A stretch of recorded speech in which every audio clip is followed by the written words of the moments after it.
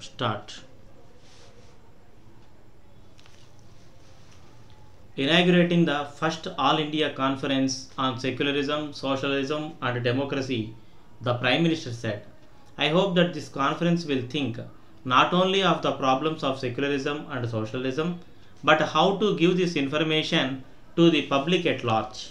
Firstly, to those who are in educational institutions and make them feel committed and involved to spread the message to the very many who are unable to go to the educational institutions.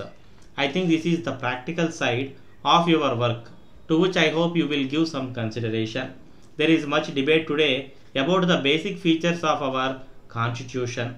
I do not want to go into the constitution, uh, but I do not want to repeat what we consider the basic features of our political system. We have opted for this. We have not drifted in this direction.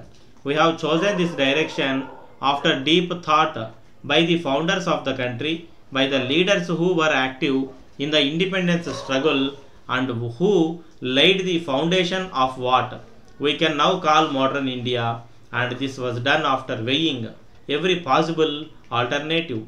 They did so because they considered that this was the only way in which the country of the size and diversity of India could keep and strengthen its unity, could have harmony, and have a basis for progress and future prosperity.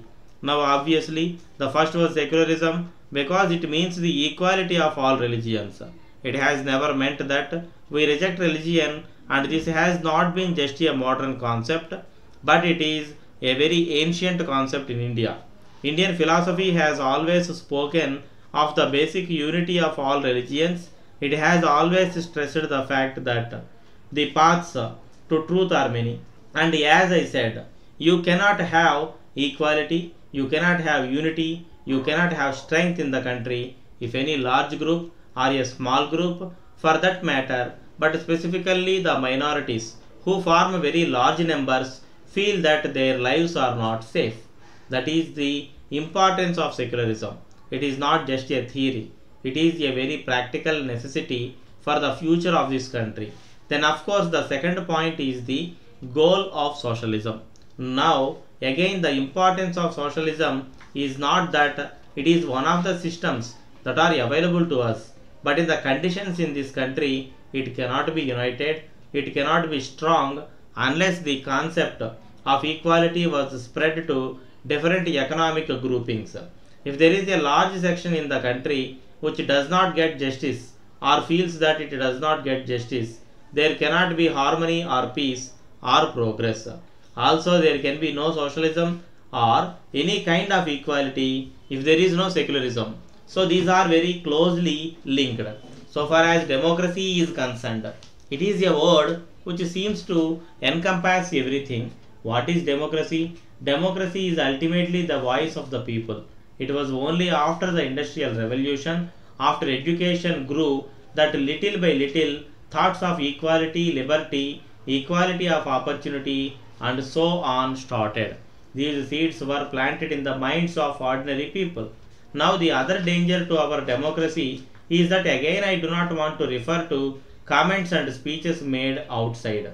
It has been openly admitted that countries who do not like particular regimes in other countries feel they are free to interfere. We are not free to comment on something that happens which is of vital interest to us, to our survival. For instance, what happened in Bangladesh when 10 million refugees came here? That was regarded as interference. That was regarded as our wanting to destroy Pakistan. But countries can take action and are taking action openly, admitted not merely by press people who revealed secrets, but by people who have themselves taken part in these operations, that they feel that they are free to interfere. They are free to interfere militarily, they are free to interfere by economic pressure, they are free to interfere by political pressure. This has been admitted. We are surrounded by dangers. There are people in the world who are far more powerful than we are, who want to change the sort of India that we want to build. This is the major danger. We are neither anti Western nor are we pro Soviet. we take help from wherever we get it and i think there is nothing shameful in it provided we are not compromising any of our ideals or our policies or anything by getting this help but primarily we are working for india it is not our concern that other countries are doing within their borders